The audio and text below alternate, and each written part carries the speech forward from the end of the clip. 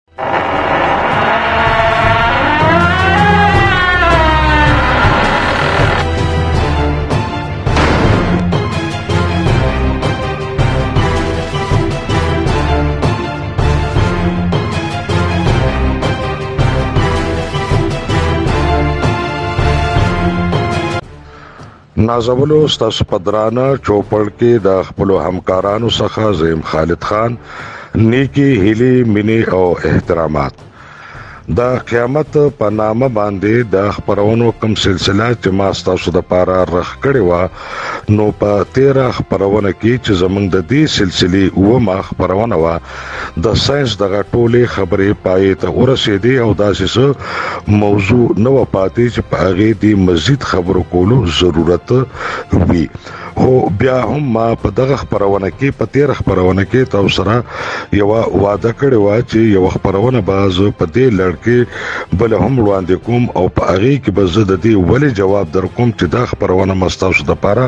ولې خوخه کړې و په دې موضوع ما ولې خبره وکړه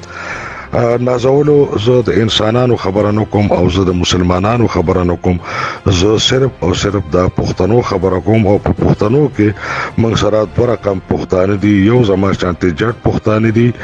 او یو زما دغه جټ پښتانه چې دي نو دي ته زه امیان ویم او یو زما جټ مولا دی چې هغه ته زه مولا وایم په عالم او مولا کې زه دا فرق کوم چې عالم هغه دی چې په رسمي توګه هغه د دین علم حاصل کړی وي او د هغه یو خوږه نرمه او پستا لهجه وي په دلیل منطق او په نرم انداز باندې هغه خپله خبره کوي او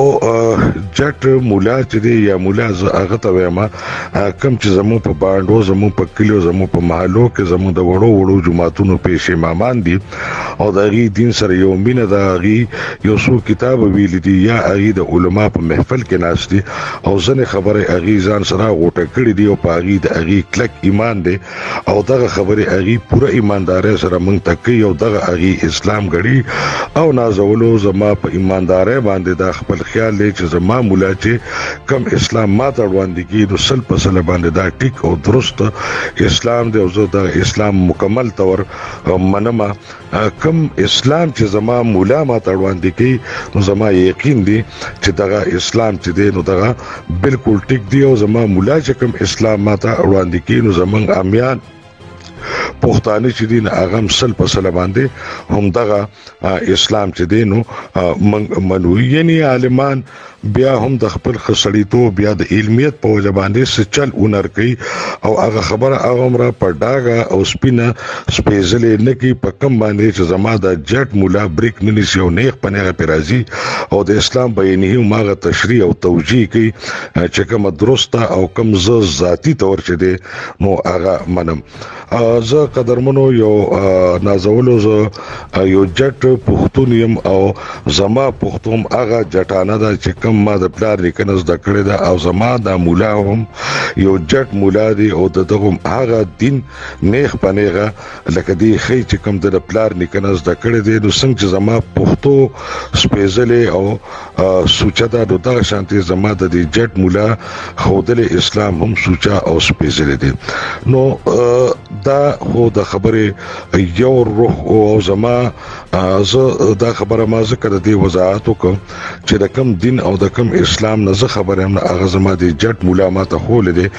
او دا شروع ورځې نه چې زه جمعات ته تللی ما نو ما چې کمی خبرې اوریدلې دي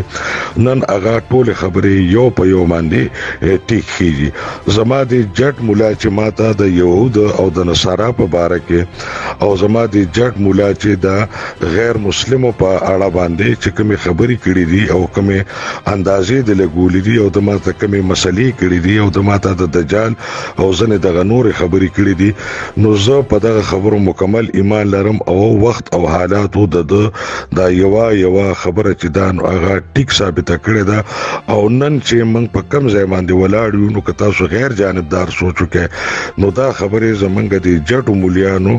ډېر د پخوانه مونږ ته کړی دی چې یو داسې وخت به راځي او نن هغه وخت راغلی دی نو تر دې حده پورې زه د خپل جټ مولا ته سلام پیش کوم چې د کوم خبرو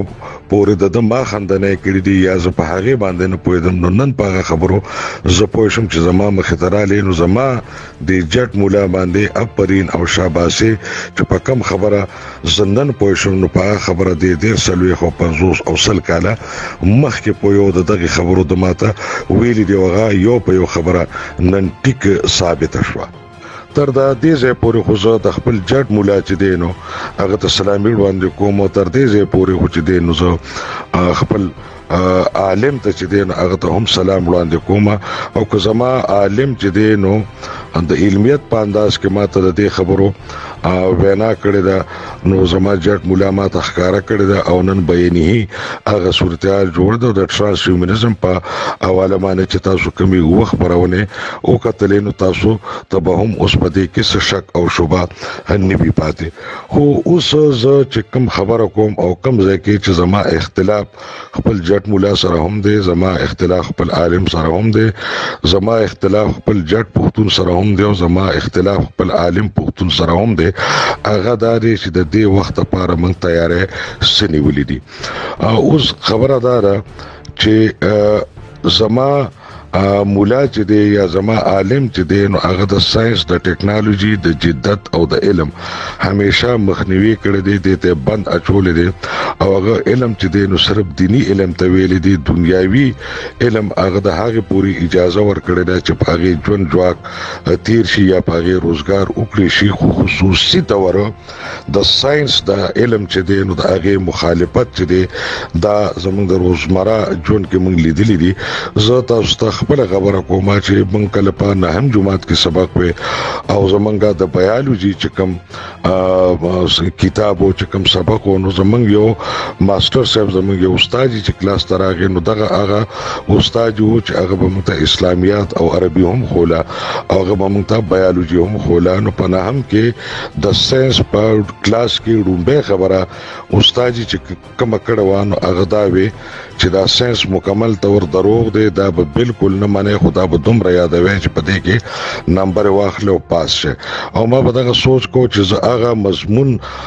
څنګه وایم زه هغه علم څنګه حاصل کوم چې هغه علم نه دی هغه دروغ دی علم خو رښتیا ته وي او یو علم چې دروغ د ناغز ولې حاصل کوم زه په دې کشمکش کوم او ډېر په مشکل باندې ما خپل والدین چې دی هغه یو درې میاشتې پس ته رضا کو چې زه دروغجن علم نشم ویلې او زه آرټس ته راغلم نو دا تاسو چې کوم خاغلی ما اور لکه زما شانتي د زړې زمانه خلک یا د ټاټ د سکولونو نه سبق ویلي ناغي د بعد د ساينس استادانو په خپل دا خبرې کړې وي او چرته په لکونو کې ور ساينس یو استاد چې هغه به یو مترقي ذهن لرو خو بهر حال د کم ساينس او د ټکنالوژي خلاف چې زما مولا پاتې دي نو هغه ساينس او ټکنالوژي نن زما غاړه تراغله او را پرې وتا او نن چې دین زما په دغه شوبه کې کمی چې دین د اغه د لاس بزه سونه خوارېګم او ذلیلېګم تاسو وکتل چې هغه عیسایت مذهب دی که هغه يهودیت دی او که هغه بودیزم دی نو دغه درې واړو مذهبونو چې دی نو یو خپل اتحاد او اتفاق چې دی ترانس هیومنزم سره یا ترانس هیومنست تحریکونو سره برابر کوي دا غواړي چې دغه گنجائش پر ساينس کې پیدا کیږي چې دا مذهبونه ختم نشي خو تاسو وګوره نو زمونږ په ګرده نړۍ کې په اسلامي نړۍ کې یو تحریک هم چې دی یا یو عالم دین هم را اوس پورې نه دی را پاسېدلی هغه تحریک کې شاملېدل یا غي سره الاینس کول خو ډېره غټه خبره ده چې په رسمي توګه باندې دغه ساينسدانانو او دغه یونیورسټو جامعاتو سره پروفیسورانو سره چرابطه قدرې کړې وي چې دا تاسو په کم سلسله روان یا یا کم تاسو تحقیق کوي نو دا دې شي یعنی په غونډه اسلامي نړۍ کې یو ملک یا یو مسلمان رهنما یا یو عالم دین ان تر کومنګه د خانه کعبه د امام پورې لاړ شو غره رهنما وګړو د ټولو جماعتونو نو اوس پورې دا تپوس هم چانه دی کړی دغه شانتي د عیسایت د بودمت او د يهودیت چې ځان ځان لکم تاریخونو نو هغه یو عالمی یو نړیوال چې دینو انجمن اسوسییشن یو اتحاد قائم کو موږ دغه اتحاد حصہ هم نه یو اوس نازولو چې په ترانس هیومنزم کې دا کم قیامت روان دی دا کم بلا روانه ده او دا کم سیلاب روان دی نو دغه مذهبونه خو به خپل ځان او خپل پیروکار په سنه سره شکل کې قائم او ساتي او غي سره به ځنې سمجوتي وکي او ځان لبا یو محفوظ لار پرېګ دی خو زمنګ به به هیڅ مسلمان چې دی نو موږ به د دغه خلاف کم بند تړو یا به دغه سره موږ څنګه هغه خپل اړیکې برابر یا به څنګه دې سره موږ قدم په قدم زو چې زموږ اسلامیت هم چې دینو خالص مخلص پاتې شي او موږ د ساينس په ځل کې هم چې دینو ورستو پاتې نشو نو یو خبره جوړیږي او هغه دا جوړیږي چې موږ مسلمانان صرف دی وخت کې دا کولی شو چې موږ په هر صورت باندې انکار وکړو چې موږ ځان په ترانس هیومنز کې نه بدلو موږ چې څنګه خدای پیدا کړو نو موږ به همدا سیو نو کدا خبره موږ سره نړۍ او منی نو د اغي د ګړ د نړۍ او زمنګ په منځ کې به څنګه چې تاسو ته پته پته دا دومره فرق را پیدا شي څومره چې لکه د یو انسان او د یو کمتر زناور په منځ کې نن دی نو دغه عمره فرق به په دغه مهذب ترانس هیومنز کې او په موږ مسلمانانو کې پاتې شي څومره چې دغه فرق تاسو ته موي چې په نن د یو انسان او د یو کمترین زناور دی نو کله چې موږ د دغه ترانس هیومنز په مقابله کې کمترین زناور شو نو موږ به د انسانیت د درجه نه وځو چې موږ د انسانیت د درجه نه ووتلو نو په موږ به د زناور او غ قوانین چې دی هغه لاګو کیږي او دغه شانتي دنیا ته سه هیڅ قسمه مسله پاتې نشو نه زما د دین نه پاتې شو نه زما د جهاد نه پاتې شو نه زما د فتوحاتو نه پاتې شو مخ خپل په خپل باندې خودکشي وکړه په خپل مرګ باندې موږ خپل په خپل باندې چې دی نمړ شو دویم او بیا موږ به افریقې ته زو یا بلره ځنګلونو ته زو یا څومره مسلمانان چې دی نو موږ بلکې د منګکانو او د چرمخکو زدينو په سړو کې په غارونو کې پټي ګوزکه چې موږ به انسانان نه یو او د انسان د سماج نه به موږ په خپل هم تختو دغه انسانان به موږ د خپل سماج نه هم وباسو د دغه معذب انسان په هیڅ حواله باندې چې دین موږ مخنیوي نشو کولو څنګه چې موږ نن په ماشو باندې سپری کو چې ملیریا خوري یا موږ مچان وژنو یا موږ ماران خاماران لړمانان وژنو یا دغه شانتي هر هغه موزر شي موږ وژنو چې هغه موږ دا غړو چې دا د انسانیت د پاره خطر دی نو دغه شانتي زمنګ مثال به د هغه درندو او یا د زناور شي یا د خطرناک لړمانانو مارانو بشي د دغه انسانيت د پاره چې زمنګ وجل چې دین هغه به قانوني مي او اخلاقی به مي زمنګ د پاره به هر قسمه سپری او غزار او زهر چې د هغه په استعمالولو کې زهر جنوي او دغه څنګه چې د نن معذب انسان او ساينسدان مګي او پښوګان او باټاګان چې د خان د ساينسي تجربو د پاره استعمالي نو دغه شانتي په دې معذب خلکو په لباټرو کې منګه چې دینو دا زناورو په ځای او دا باټاو د چین د خو دا مګي په ځای باندې با او د پښو په ځای به موږ په دغه باټرو کې استعمالي ودا یقینا چې په دې کې د سر اړو دوه خبره نشته دا زمونږ یو هغه مستقبل دی چې کوم د انسان فیصله را او سل کاله بعد سل کاله پس ته به هم دغه شانتی وي دا څنګه خبره چې زه کومه د الهي فیصله جدا دي او د الله به څه خپلې فیصلې وي هغه جدا خبره ده خو انساني فیصله همدغه ده دا څه چې زه تاسو ته وایم خو فرض کړئ چې مهذب انسان دا وګړي چې نه منګه ته مسلمان چې دی نو هغه راته په دغه ذلیل حیثیت او په پست سطح نه دی پکار او دی به ضرور په ټرانس هیومنز کې منګه بدلو او دی به موږ هم د ځان شانته انسان جوړو نو اغي دا هم ډیر په اسانه کولی شي په اسانه یې داسې کولی شي خوراک تاسو کوي نزولو نن تاسو وګوره نو که تاسو په کور کې کم اغه یو مسیز دی چې هغه تاسو استعمالوي هغه د ملټي نېشنل کمپنیونو دی او د هغه د د يهودو د کمپنیونو دی کاغه تاسو کوک پیپسی واخلې کاغه تاسو د مکډونلډ دغه برګر واخلې یعنی څه قسمه د جدید خوراکونه چې دی او تاسو ته د بهر ناراضي او د ملټي نېشنل کمپنو جوړ دي نو پدې کې زیاتر چې دی نو د يهودو دي او دا ټول چې دی نو د یو اصول او د اخلاق ولاندې لکه په یو انجمن په حیثیت باندې کار کوي بیا د څومره مرزونو د پاره چې تاسو سونه دوايان خورئ نو دغه دوايان دغه فارمولې دي د يهودو دي دغه ملټي نېشنل کمپنۍ دي نو دا سه مشکله خبره د سره اړودنه چې دا څومره سيزونه تاسو استعمالوي